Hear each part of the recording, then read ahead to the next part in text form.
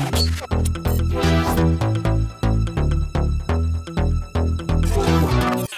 everybody goes.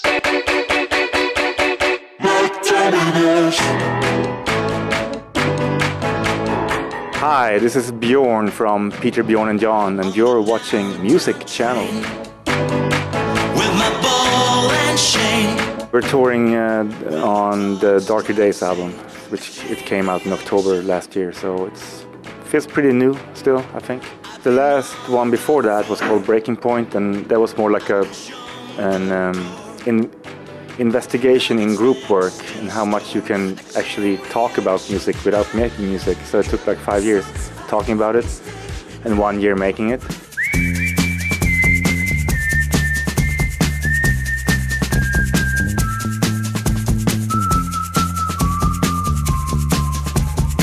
Uh, like we did back on Writer's Block with young folks, there was more. We didn't have to like talk everything through. I think that gives more of a freedom.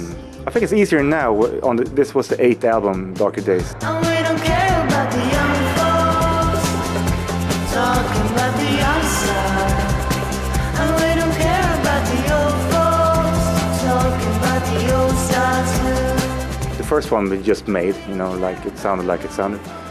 But the second one, then you make a statement like, oh, what kind of band do, we want to be? And, you know, we don't have, we only had like 10 songs out. And now we have maybe, I don't know, 100 songs. So this time we wanted to be more in, without the group of other people and just ourselves. And we split up some, did the homework and sort of made our own songs and more playing, less talking, and more fun.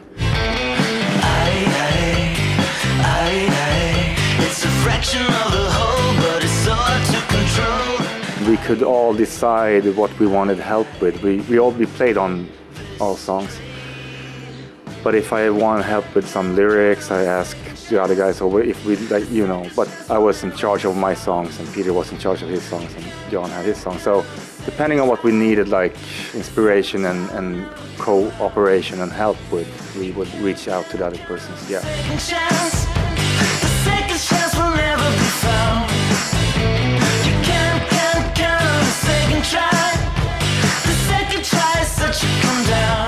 I've been working on some lyrics for the next one. Uh, We want to get the next one out pretty soon too. So, and lyrics take time. So I think it's a good, for me, it's a good moment to like sit and contemplate over. But it's easier now um, to keep a constant flow. I think so. We're gonna just, I guess, keep touring anyway. Music.